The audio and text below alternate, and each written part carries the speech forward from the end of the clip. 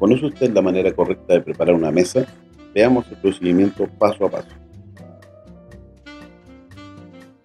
Cuando usted realice el montaje y marcaje de mesa, primero verifique el estado del mobiliario.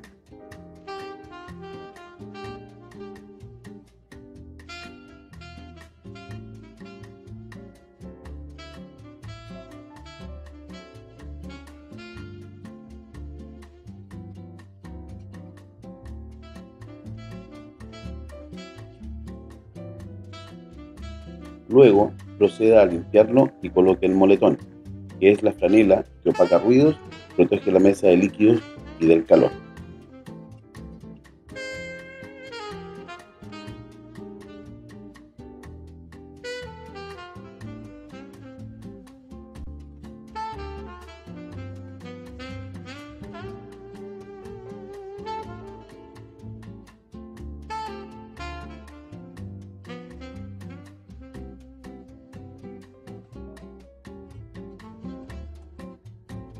A continuación, instale la lencería de mesa o mantelería.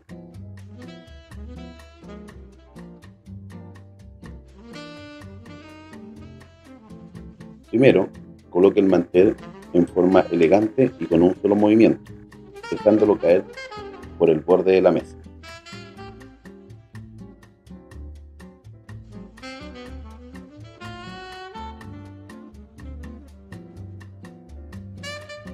Retire las bolsas de aire solo con los dedos.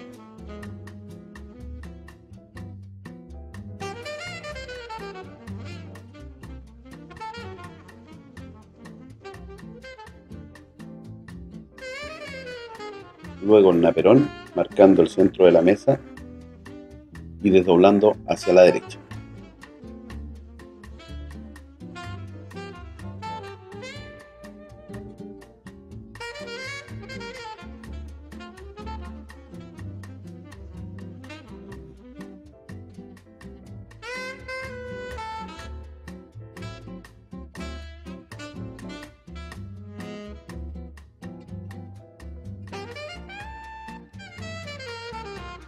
El siguiente paso es marcar con la vajilla.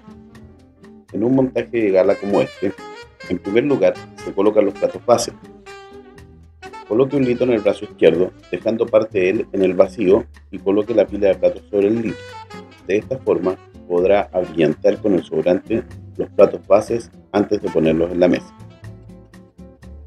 Trate que los platos queden bien centrados, con una distancia de una pulgada a partir de la orilla de la mesa.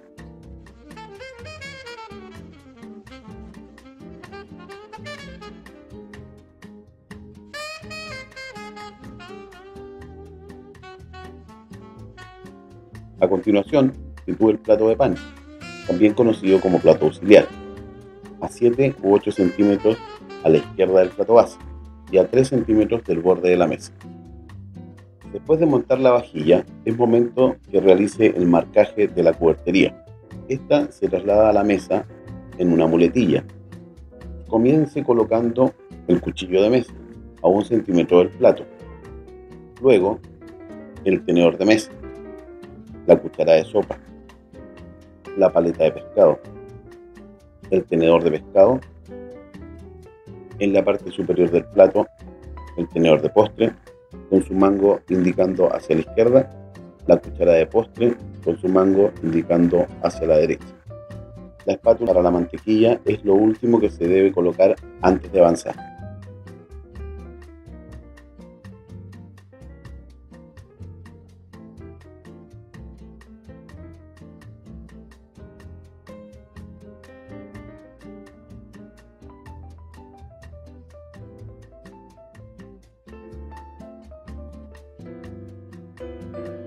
Después de la cubertería, la cristalería es el siguiente paso en el montaje de mesa. Esta se debe trasladar en una charola de servicio.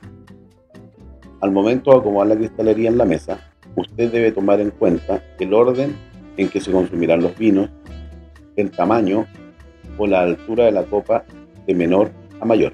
La copa de champaña puede adoptar dos posiciones según el uso del espumoso. Si es para brindis, adopta la postura de cuarta copa. Si es para cenar, delante de la copa de vino tinto.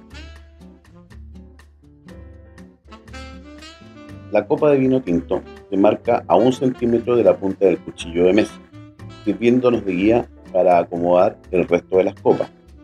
Recuerde, las copas se disponen de derecha a izquierda en forma ascendente.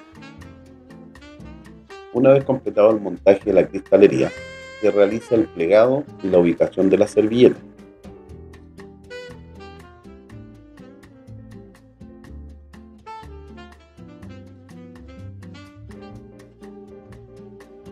La servilleta se ubicará en el centro del plato. Después de la servilleta se dispone el platillo de mantequilla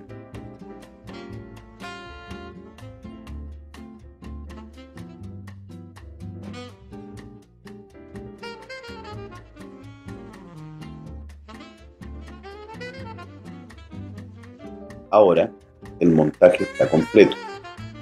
Recuerde, lleve la silla a la posición correcta y la mesa estará lista para recibir a los comensales. Algunos servicios especiales. Pastas italianas.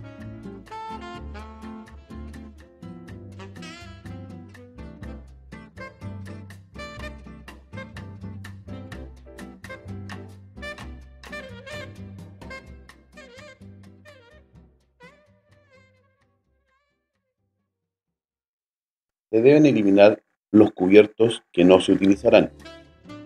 Esta es una de las ocasiones en que el tenedor pasa de mano izquierda a mano derecha y viceversa la cuchara.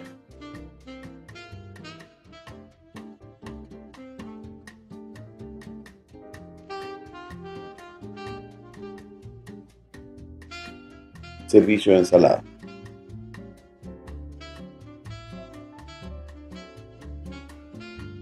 En este tipo de servicio, también el tenedor adopta la posición de mano derecha, siempre y cuando la ensalada no contenga nada que se deba cortar o cuando se debe raspar el producto con el tenedor. Tal es el caso de las alcachofas o los espárragos.